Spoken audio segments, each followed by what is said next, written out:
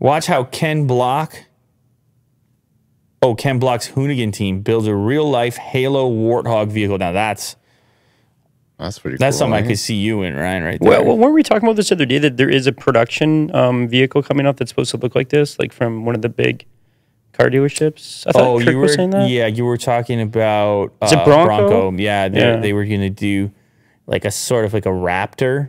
I mean, it's not gonna look that crazy. No, if something yeah, you can actually buy. right. Just have that vibe to it, maybe. Yeah, that was the rumor. So it looked, I mean, cool look to it still.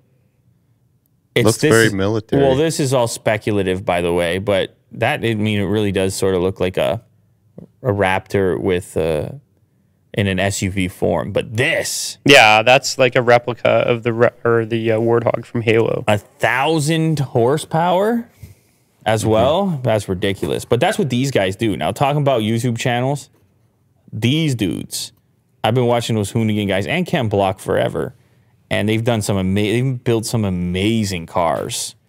But usually, it, it's all about speed. I mean, they're building race cars, rally cars. This time around, I mean, it's an off-road beast, and uh, it's a replica of the Halo vehicle. Very cool.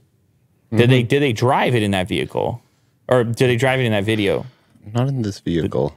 Vehicle, Or not, in, not in this video.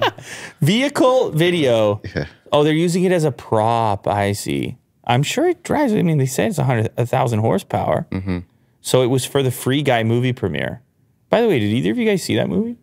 No, Ryan Reynolds. I heard it was pretty good. I like Reynolds. I'd watch it. Yeah, I don't know. I mean, I just saw people on Twitter talking about. it. I don't know. I know nothing. I know nothing either. I know nothing.